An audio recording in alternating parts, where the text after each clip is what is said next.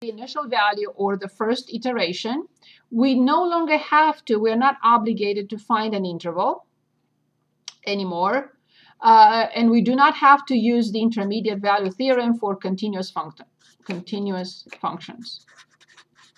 We do not, because they are giving us the first iteration. So, so our f of x is this function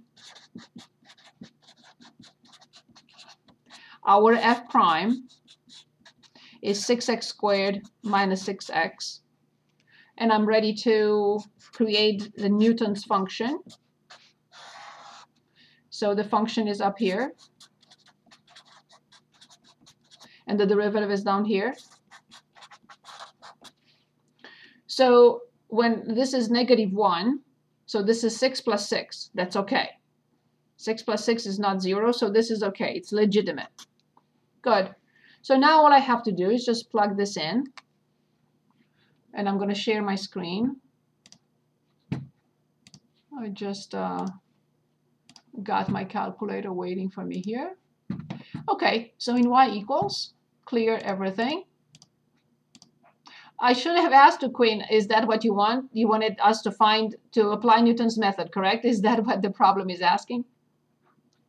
Yep, you have to apply Newton's method, and you only have to find to the third. So how many decimal digits? Um, it says round your answer to four decimal places. Okay, so four decimals. Good. So x minus 2x cubed. Good. Uh, minus 3x squared. And then plus 2 and divide 6x squared minus 6x. Good. So now I go to second and quit. We go to variables, y variable. So in case you forgot, these steps are in the video. I recorded this last time. So you can review it anytime you want. So I plug in negative 1 I get the first, the second iteration as they, they like to call it, negative 0.75.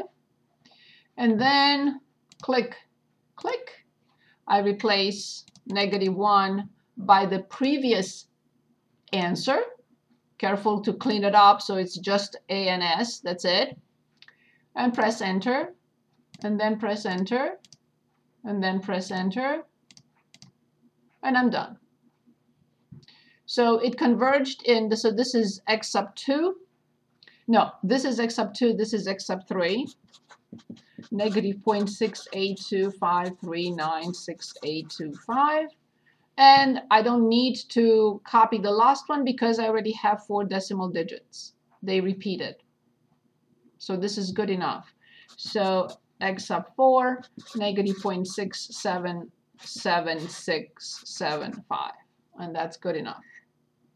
And if I need to round it, I would say it's approximately negative 0.6777. I think I copied an extra 7 here. Sorry. 67767. Yep. So I'm going to white out one of them. Is this what Theo had in mind? Yep. Good. Perfect. Other questions? Anyone? Anyone else? Maybe. I had a question. Yes, I'm ready, Abby. So when I was confused how we found the first iteration for when we used the Newton's method. Uh, you mean this one was given to us? The problem gave us this. Yeah, but I mean like uh What if a- what if we don't have anything? We are using the intermediate value theorem for continuous functions. Exactly what we did in chapter 2 under continuity. We said this is a continuous function because it's a polynomial function. We plugged it in the graphing calculator in y equals. So delete, delete, delete. Delete, delete, delete, delete, delete, delete, delete. No, never mind. So it was 2x cubed, 2x cubed uh, minus 3x squared. So please, if you need to review uh, the intermediate value theorem, is a very important theorem. What did just happen? I wanted to insert a 3. Why can't I insert a 3 in there? Okay, plus 2. So then you go to second and table. It's continuous. And you start anywhere you want. Let's say I'm going to start at negative 2. It's negative. I'm going to continue with negative 1. It's still negative. I'm going to continue with 0. So there is a solution between negative 1 and 0 because the function changes sign. So by IVT, by the intermediate value theorem, there must be a 0 between negative 1 and 0. Is that okay? Yes, thank you. So the way we write it, to be exact, so I'm going to write number one, f of x, that function is continuous as a poly. That's what we wrote. Two, f of negative 1 is, I don't remember now, negative, and f of 0 is positive. So from 1 and 2, let me just make sure I'm copied correctly. So it was negative and positive. That's correct, yeah. Okay, so from 1 and 2, by IVT, there exists a C in the open interval negative 1, 0, such that f of C is 0. Such that f of C is 0. So that's why we can either start with uh, negative 1 or start with x equals 0. However, 0 is a problem because that makes that 0. So no, because f prime of 0 is 0. This is okay. Very good questions. Anything else? Have you tried anything else? Do you need help with anything else?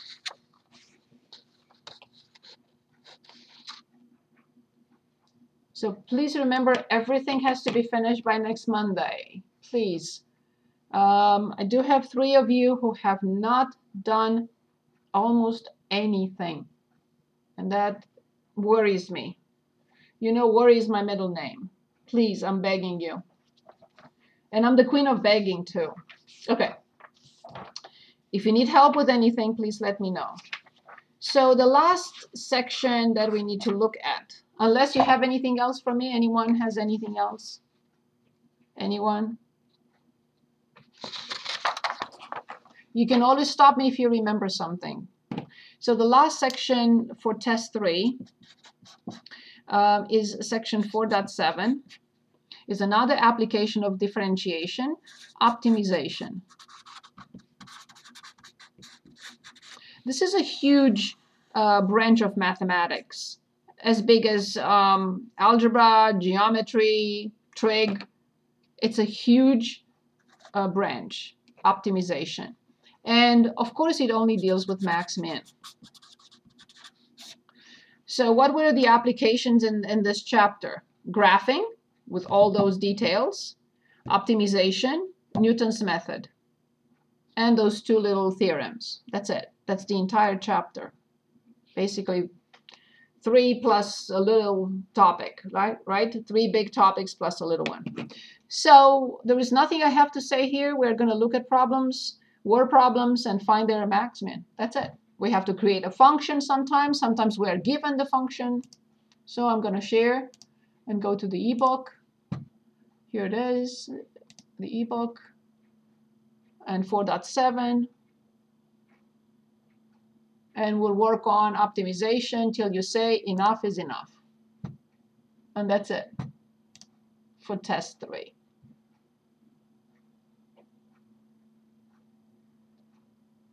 Something similar to related rates from the previous chapter, but no, it's not the same.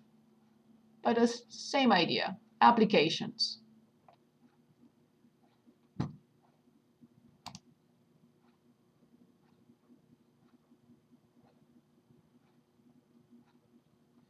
Now, for example, something like this is basically a problem for algebra students. It's not a problem for calculus students. I mean, this is just a quadratic function. You don't even need calculus for it. So let's look at something more interesting.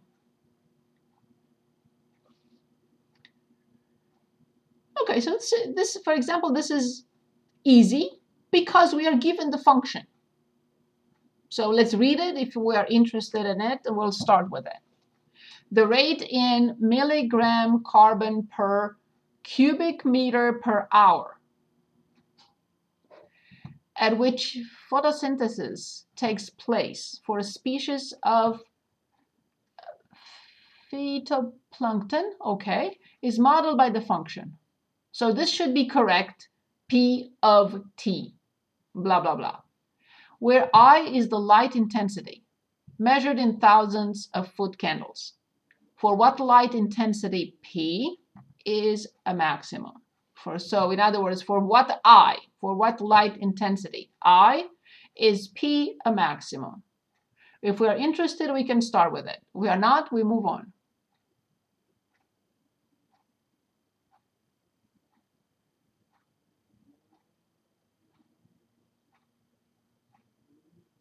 Is that a yes? Is that a no? That's a yes, ma'am. You said yes, Victoria? Yes, ma'am. Okay, got it. So we start, oh, that's not a good part. So we start with 10. So we are given the function p of i, 100i over i squared plus i plus 4. Okay. So we're asked to find I that gives or makes P a maximum. This is what we learn in this chapter. How do I start?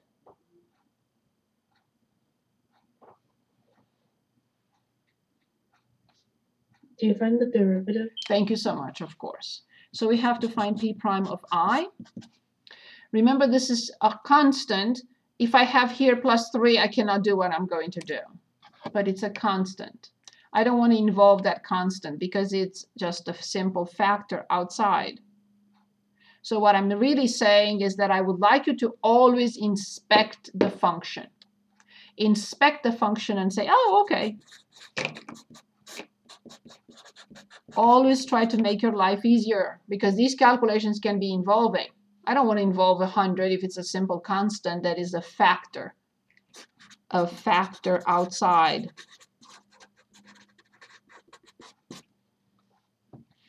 So it will it will wait patiently. Top prime We because it's see your screen. say it again. We can't see your screen. Oh no. I'm sorry. So let me start again. So when you look at a function before you even attempt to do anything, please inspect this function and realize that 100 is just a factor outside okay, because this is multiplied and there is nothing else that follows here. So 100 times i over this. So leave the 100 outside, quotient rule. The top function prime is 1, so i squared plus i plus 4 minus the top, and parentheses the denominator prime, which is 2i plus 1. Of course, over this squared.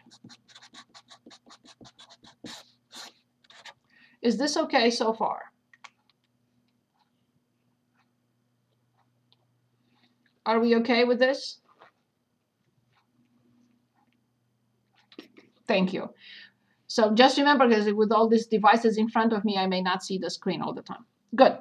Thank you. So then, remember, don't try to simplify. You cannot simplify this with this, because this is a term, or these are three terms in a chain of terms, right? So you don't ever attempt to do this before you factor. If you factor, yes, you can simplify, but not right now.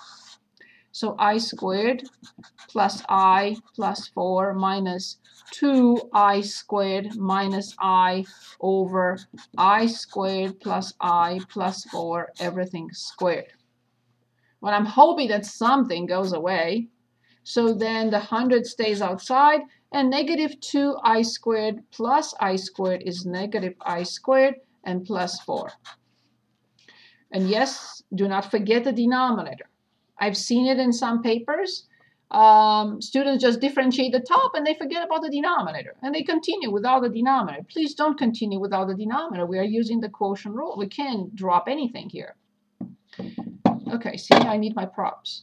So i squared plus i plus 4, everything squared. Of course, I'm going to factor out negative 1. And the top becomes i squared minus 4. Can anyone tell us how to factor that?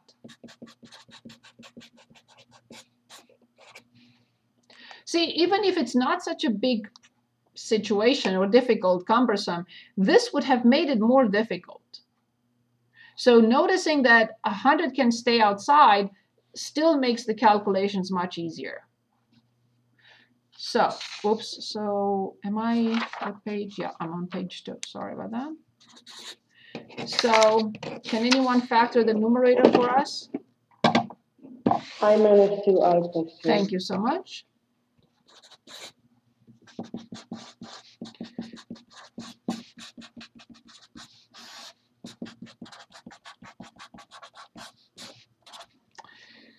So after we found, it took me a few minutes, right, to find the uh, derivative of this function. What do I need to find next?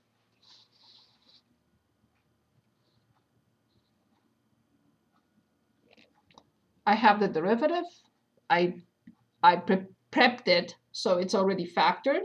What am I doing next?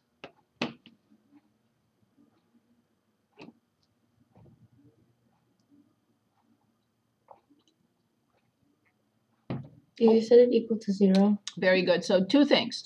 So p prime of i could be undefined, and p prime of i could be zero. So this is for critical numbers.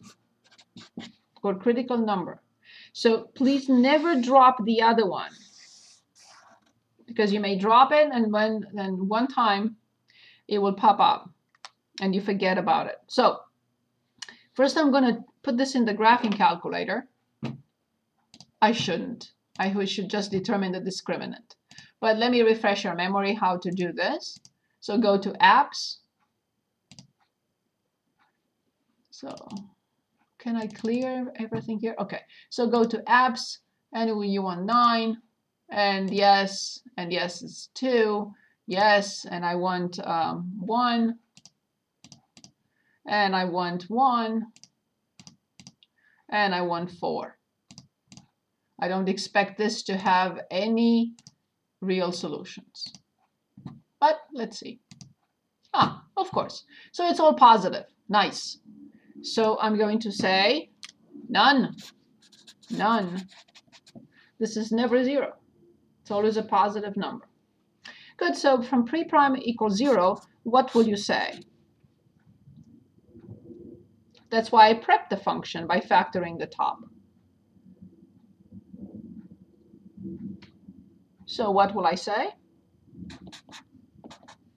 R equals two and I equals negative two. 2 and negative 2. There is no light intensity of negative, right? So the only light intensity is 2.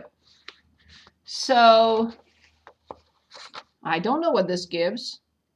I have to show anyway. So here's my i. Here's my p prime of i. And of course, p of i. So 0, I don't know. Of course not infinity. So I have 2 and I have 0 and I need to study the sign left and right. So here's the, here's the um, uh, first derivative. No one will ever touch this because this is, these are all positive for the sign. So let's plug in I0 and give me the sign here. And let's plug in I10 and give me the sign here. Yes, you can put that in the graphing calculator and you can use it, but why? It's so easy. It's up to you though. So 0 plus 2, 0 minus 2 with a minus in front. So what should this be? Negative four. So uh, it's positive, right? So this is negative 2 times negative, Oh, yeah, four. or yes, good. And now let's plug in 10. This is positive, this is positive, this is positive, this is positive, but there is a negative in front. So what will be the sign to the right of 2? Good. So then this is typical for a maximum. Now if I want to find the maximum, I have to plug in 2 in the function. So let's see, P of 2 is 200 over 4 plus 4, 8 plus 2, 10. So this is 20. And now I have to dig deep those measurement units.